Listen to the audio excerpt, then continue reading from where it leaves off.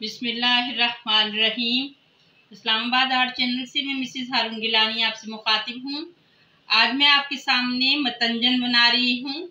मतंजन मीठी डिश है और शादी ब्याह के मौके पे और ख़ास तौर पे ईद, बकरा ईद, छोटी ईद, यानी ईद फितर पे इस्तेमाल होती है, ये बनती है और बहुत शौक से खाई जाती है और शादी ब्याह के मौके पे भी बहुत शौक से बनाई जाती है और खाई भी जाती है और इसमें बहुत सारी चीज़ें डलती हैं। आपकी मर्ज़ी है, आप जितनी भी चीज़ों का इजाफा करना चाहते हैं, कर सकते हैं। इसमें खोया भी डल सकता है, इसमें मिठाइयाँ भी डलती हैं, इसमें चमचम और इस तरह की चीज़ें भी डल जाती हैं, गुलाब जामुन और चमचम वगैरह। लेकिन मैं इस वक्त जो है सिर्फ़ अशरफियाँ डालूँगी और ड्राई फ्रूट्स डालूँगी और कलर डालूँगी। और ये चीज़ें मैं आपको दिखाती हूँ क्या क्या मैंने चीज़ें ली हैं। डेढ़ किलो मैंने सेला चावल लिए हैं और ये भिगो कर रखे हुए थे एक घंटे से और अब इसका पानी मैंने ड्रेन कर दिया है।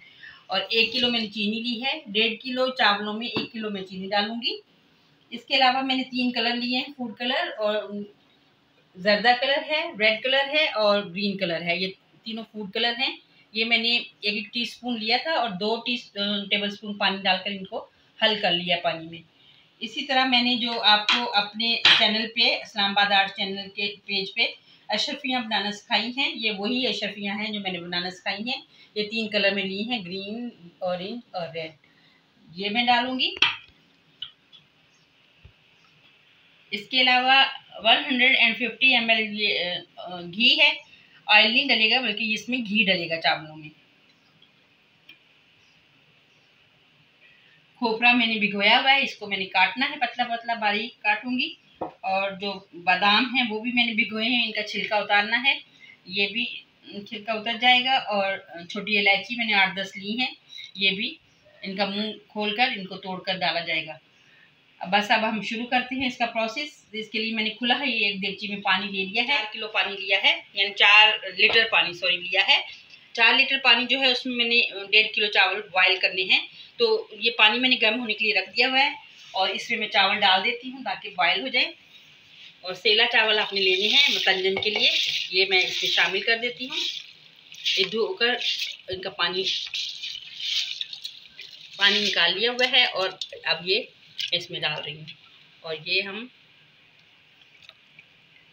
चावल इसमें सारे डाल देंगे और अब बॉयल होने का इंतज़ार करते हैं। चावल हमारे बॉयल हो गए हैं और अब हम अगला प्रोसेस शुरू करते हैं और पानी हमने इसमें से निकाल दिया है चावलों में से। और ये सादे चावल तैयार हो गए। और इसके बाद हमने क्या करना है वो आपको बताते हैं। हम देखिए, में ये घी डालेंगे जो हमने लिया हुआ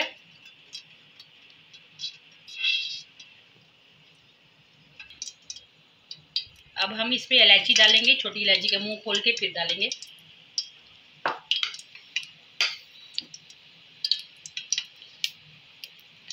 इलायची ज़रा सी कड़कड़ा जाएगी, फिर अगला प्रोसेस शुरू करते हैं। इलायची डालने के बाद ये पंद्रह अंदर मैंने लौंग लिए हैं, ये भी डाल दूँगी इसमें। और साथ ही हम जो चीनी ली थी, वो डाल देंगे।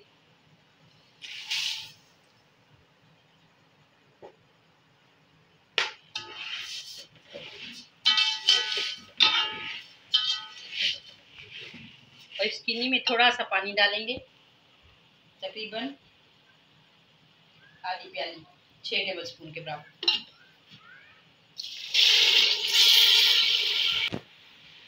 अब ये सारे चावल हम इसमें डाल देंगे। मुकम्मल चावल डालकर दम पर रख देंगे।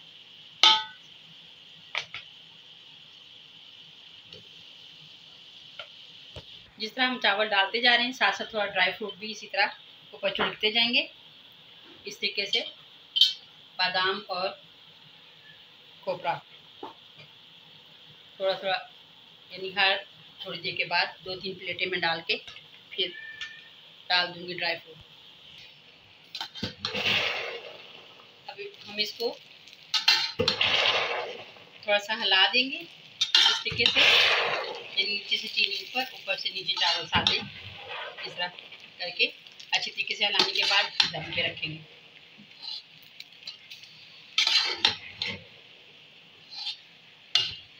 मुकम्मल मैंने चावल सारे हिला दिए हैं।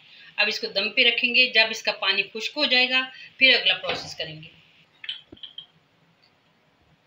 तकरीबन पानी इसका खुश्क हो गया है और इसको मैं अब अशरफियाँ डालूँगी।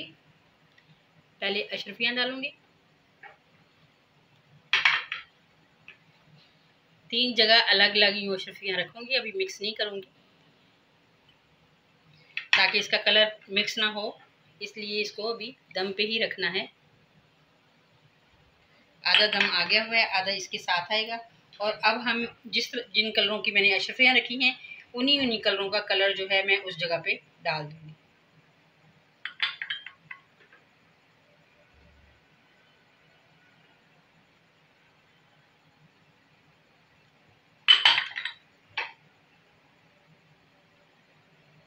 इस तरीके से सारे कलर डालने के बाद अब मैं इसको बंद कर दूँगी दोबारा और मज़ीद इसको जो दम आना है, मुकम्मल करूँगी इसको। जरदा हमारा रेडी हो गया और अब हम इसको डिश आउट करके आपको दिखाते हैं।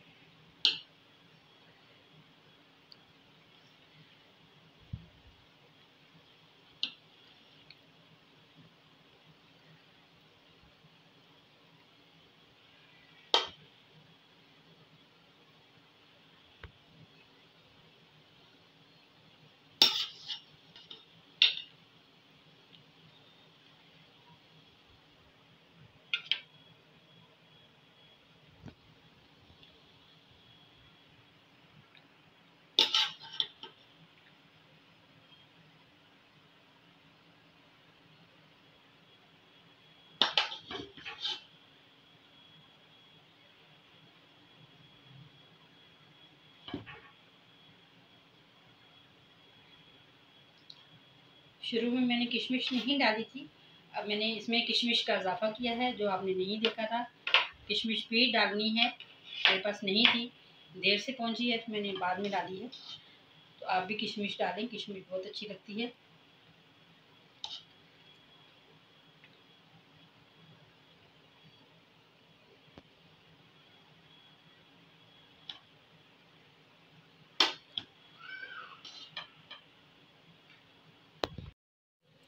मतंजन हमारा रेडी हो गया है और आप भी बनाएँ इस तरीके से और वीडियो को फॉलो करें लाइक करें शेयर करें और सब्सक्राइब करें चैनल को और दुआओं में याद रखें। इंशाल्लाह फिर नई रेसिपी के साथ हाज़िर होंगे। इजाज़त दीजिए। अल्लाह निगेबान